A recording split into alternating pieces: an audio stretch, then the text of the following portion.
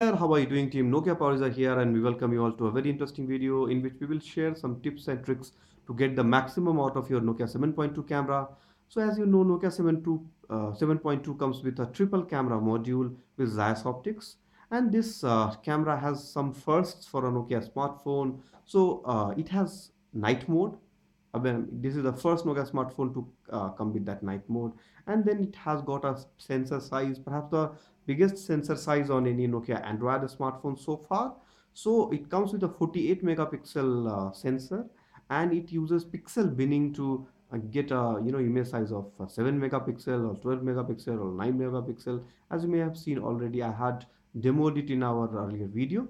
So basically uh, I mean all uh, considering everything that uh, it comes with I mean obviously the expectations are that uh, you will get very detailed images uh, and it will uh, offer very good uh, night performance. But in this particular video we will talk more about what we did not cover last time. So we will talk about how you can actually use this camera and what modes offer and what are the three Zeiss modes actually. You may have heard that I mean while uh, launching this Nokia 7.2 there were like uh, all, I mean kind of mention of three Zeiss modes so we will talk about that and see how that works so let's quickly start.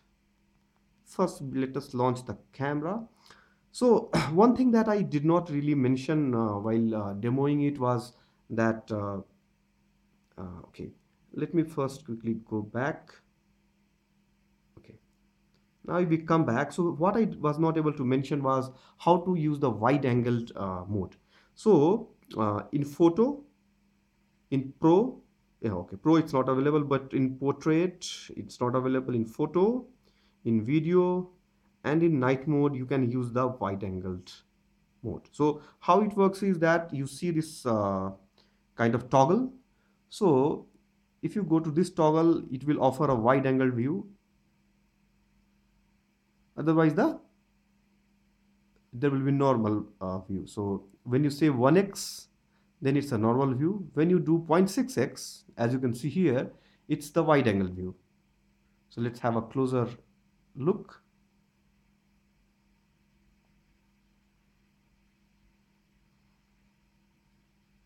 So this is normal mode and this is wide angle mode. And this works for night mode, video and photo. Okay. So now once we have seen this, the next uh, interesting thing that I wanted to share was uh, the uh, depth capture. So the depth capture actually allows you to edit the depth and bokeh mode. So how you want to actually fine tune the depth. So you can change the focus. So we will quickly see how that works. So for capturing the depth, uh, um, depth mode photos, what you need to do is to go to the settings and you see two options here, raw files format support. So if you want to get the 48 megapixel raw files, you can just click that and you will get raw files, which you can play with uh, uh, software like Adobe Lightroom. But if you don't want that, you want to play with depth, bokeh, etc., then you can switch on the uh, depth mode. So when you do that and when you capture an image now, so you will see this icon here once the depth mode is on. This icon shows that the depth mode is on. So whatever pictures are captured, the resolution is bit different and they have the depth information. So you will capture this. So now I will show you how the editing works like for depth uh, capture and for normal capture. So here is where you will also see the Zeiss modes. So basically, if it is a depth image, you will see the depth information here on the top. If you go to the gallery you will see that if it is uh, if an image has been captured with depth mode on here you will see the depth written. So now for such kind of images if you go to the uh, gallery google photos and you see this uh, three uh, i mean three lines here so which means that you can edit it. So if you go to edit there are two options portrait editor and photos editor. So by using these you can do different things. So basically i will take you to a different image which you can actually uh, I think you will appreciate playing with that so let's go to such image so you see here the again the depth area so this image uh, has the depth information so now if I go to edit and I do portrait editor so there are two effects portrait effect and beautify. So if I go to portrait effect, there I see this Zeiss modern, Zeiss swirl, Zeiss smooth, classic, star and heart. There are six options as you can see here at the bottom. So Zeiss modern, Zeiss, uh, Zeiss uh, swirl, Zeiss smooth, classic, star and heart. So all these offer different kind of effect. So this is Zeiss modern. This is Zeiss swirl. This is Zeiss smooth. And there are three options. So basically I wanted to show how these options actually change the picture.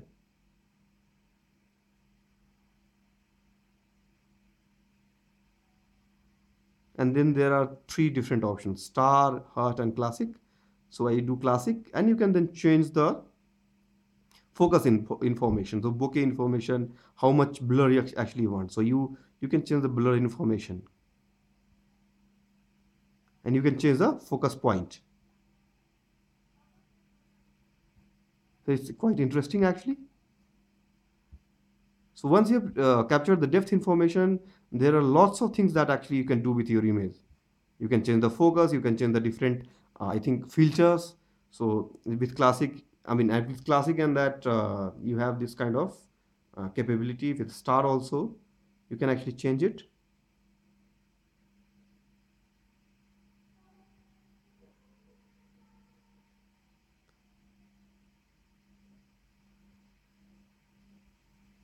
This is for Zeiss Modern. So quite interesting actually effects are there. This is Swirl.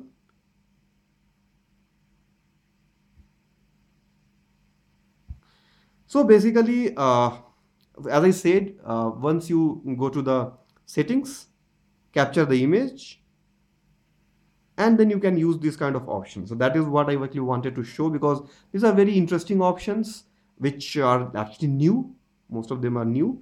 So I mean, not only the photo editor, you can actually also use the normal Google uh, Photos editor. But obviously here you have only three options, light, color and blur. So you can again change the different settings, focus you can change actually, even with Google Photos. But if you have so many options provided, then perhaps you would like to go for the portrait editor which is offered by HMD. So now uh, apart from that if you have captured a normal image what changes you can do actually? So there can be many.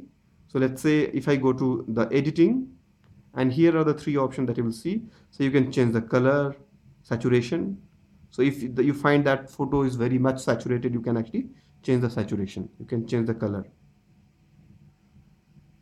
You can even increase the saturation. There are many options actually where which you find in the um, Google Photos editing. You can actually do the color pop. This picture so basically you really don't require any other editor. If you want to do lots of changes you can really do in google photos. So this photo was not captured with depth information that you can see here. It was a normal picture which you captured but here you can see that you can do so many changes actually. You can change the color you can make the color pop etc you can even change the lighting.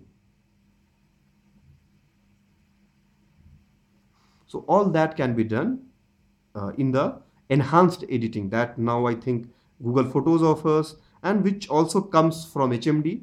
Like we saw that if you have depth captured photo, then you can go to uh, the portrait editor and you can use the different uh, Zeiss uh, settings, Zeiss Modern, Swirl, etc. And you can do many things actually.